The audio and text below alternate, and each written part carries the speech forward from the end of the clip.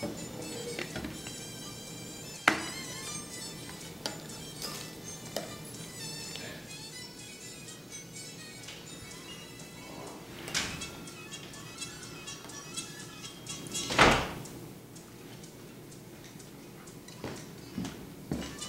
Mom.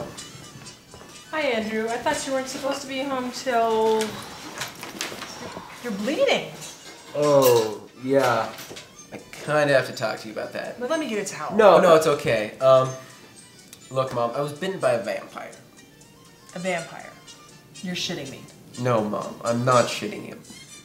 I was in school today, and there's this vampire, and he totally attacked me. Where was this attack? Like, during class? No, I was in the parking lot. My humps, my humps, my humps. My lovely lady love. Check it out. Get off of me.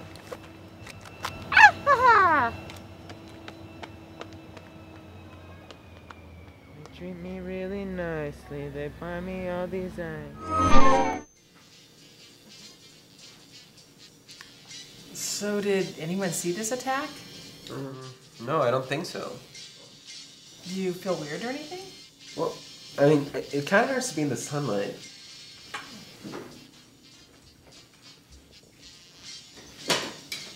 Thanks. So, do you want blood or anything? Kind of. Well, it's like when you want tacos and, like, maybe you can't get any tacos, so you have pizza and it tastes good, but you still want those tacos. Tacos, huh? I, mean, I'll have a regular dinner.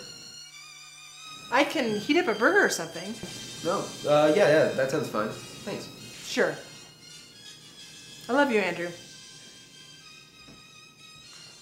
Hey, can I stay home from school tomorrow? Because of your vampirism? Oh, uh, yeah, but I got a bunch of stuff I gotta do, so. Well, I guess so. But just this once. Well, school's still open, I think. You could probably call now. Okay. Uh, Andrew.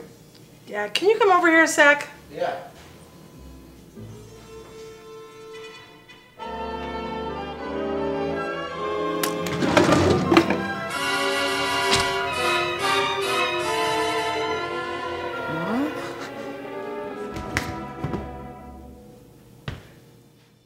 I'm sorry, but I'd rather have a dead human son than a living vampire one.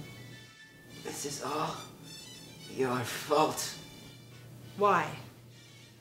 It doesn't matter. You're the mom. You'll think it anyway.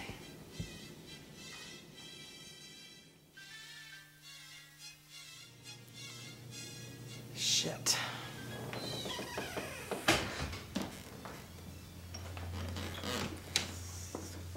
Hey, Mom! I'm home from soccer. Hi, Lucy. How was it? Pretty good, thanks. That's good. Yeah. Mom, can I talk to you about something? Yeah, what is it? Well, this crazy werewolf guy at soccer sort of scratched me. But I think I'm okay. I do feel kind of weird, though.